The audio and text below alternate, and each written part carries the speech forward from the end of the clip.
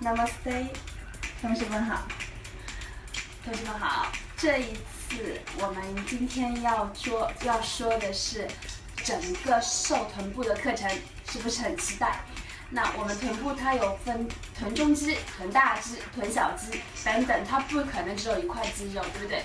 然后我们平时穿衣服、穿裤子，女生的臀部开始往下走、往外走，我们就要想办法往里走、往上抬，那你的臀部轮廓就好看了，对吗？好，我现在就教你们怎么样去练习臀部的课程。首先，躺下，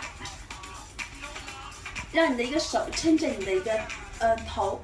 头的这边，然后你的身体是直的，你你别躺歪了啊。我们是一个很中立，是一个直的状态。然后你的另外一个手是压着你的臀大肌，臀大肌就在我们临时医生给我们打针的地方，我们用手压着它，然后两腿走到身体的前方，这边是一个九十度。再次我们做这个动作，你会。然后用力往你的你的这个手往下压，你会感觉到你的肌肉是有在运动的。我们不要追求速度，我们追求的是要精确、要标准。这个动作我们做十个，好，做十个。然后双腿是伸直的，然后紧接着第二个动作，在这个基础上弯曲你的膝盖，就等于我们这边是一个九十度，那大腿跟小腿也是九十度。然后抬，平行的往上抬，抬十个，也是十个。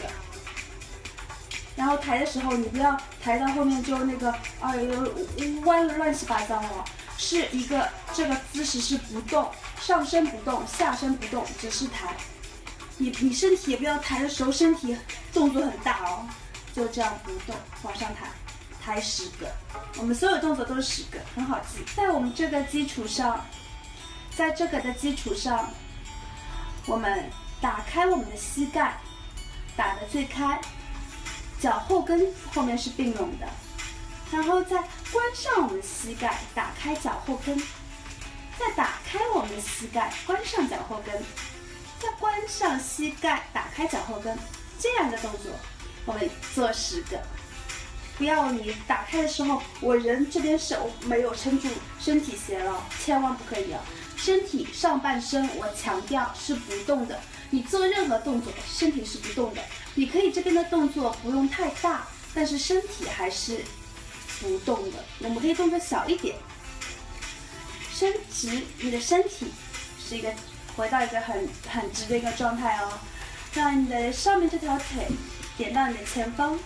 我们画半圆，如果你怕身体移动，这边手可以撑一下，画半圆。